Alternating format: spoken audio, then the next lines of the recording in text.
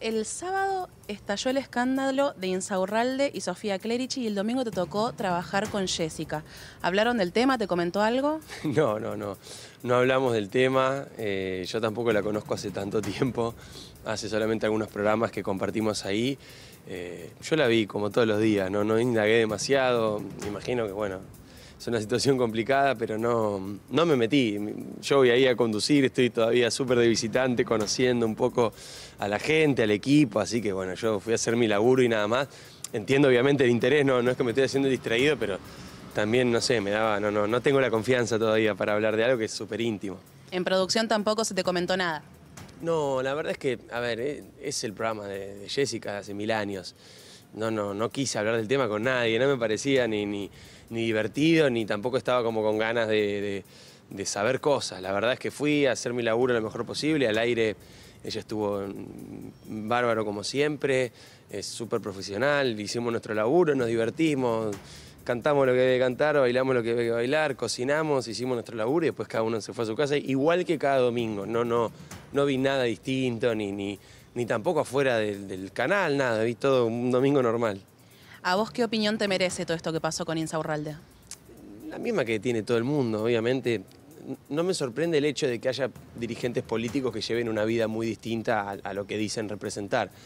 Entiendo que esto tiene todos los condimentos para, generar este ruido y este, esta sensación de un montón de gente, pero me parece que lo sabemos todos, es súper habitual que hay políticos que dicen vivir de una manera y viven de otra. Eh, me parece que es una muestra más de eso. Hemos visto miles y vamos a seguir viendo, lamentablemente.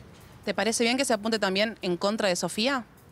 No, me parece que ella tiene, no tiene ninguna función pública y ahí cada uno es libre de hacer lo que, lo que quiera. Me parece que acá la única objeción posible, siendo que siempre yo por lo menos desde, mi rol cuando hablaba mucho de política es no meterme en, en la vida privada, en este caso lo que sí concierne a la ciudadanía es, bueno, ese nivel de vida, cómo se obtiene.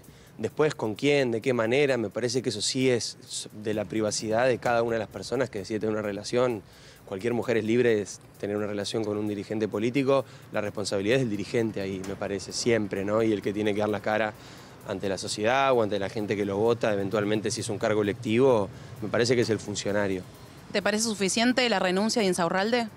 Me parece que es lógico, que es parte de lo normal en cualquier sociedad. Cuando hay un escándalo así, el funcionario implicado debe renunciar. Entiendo que ahora va a haber investigaciones eh, en la justicia, bueno, también conocemos cómo es la justicia en Argentina, no, no, es garantía de nada. Pero sí, entiendo que ahora va a haber un montón de correlatos. Insisto, ahora es este el caso, pero hemos visto miles así y seguiremos viendo. Se presentó una denuncia en contra de Sofía por el tema de que tiene monotributo clase A y los las carteras, relojes que ella dice que se compra, aunque en su momento dijo que eran regalos, no, no podría comprarlos con el sueldo que declara que tiene, con los ingresos, perdón. Yo pondría, la, insisto, pondría la lupa sobre los funcionarios públicos, que son los que deben rendir cuenta. Después cada ciudadano individualmente, al igual que yo, al igual que vos, al igual que todos, responderá con respecto a su situación ante, ante la FIP eh, como, como, como mejor corresponda. En este caso puntual me parece que la persona pública, la persona que tiene que explicar cómo vive producto de que su salario sale del erario público es el funcionario. Después la gente que está alrededor, insisto, no, no, no creo que sea competencia nuestra por lo menos. Bueno, ahí estaba la palabra de Diego que dice que nada, se hizo, se ignoró el tema directamente en producción, fuera de cámara, no sé qué.